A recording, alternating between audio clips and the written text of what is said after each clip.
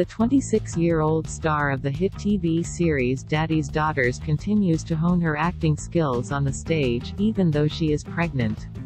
Recall that in December last year, Liza Arzamasova became the legal wife of 47-year-old ex-figure skater and choreographer Ilya Averbukh. Since then, the beauty no longer hesitates to share with fans the details of her professional and personal life, and also to surprise with bold images. On the official page of the actress on Instagram, a frame appeared the day before, which led her fans to admiration.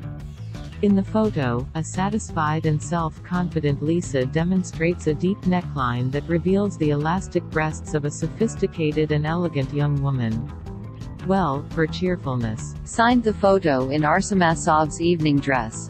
Fans of the actress reacted with admiration to the publication, great image. Thank you, Liz, for making you and us, your photos, happy with such a variety of styles and outfits. Everything is just super. Expanding borders is welcome. Thanks to Ilya, Lizonka, is good, feminine and elegant. Wow. Hollywood in the best traditions.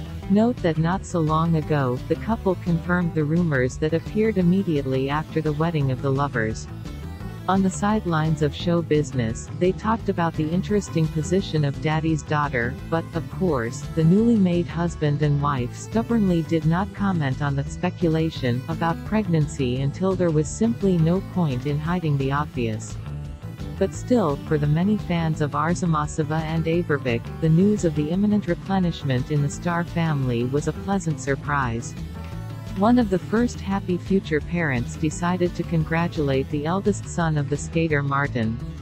The 16-year-old was sincerely happy for his father and his charming stepmother, with whom he had long been able to establish warm friendly relations.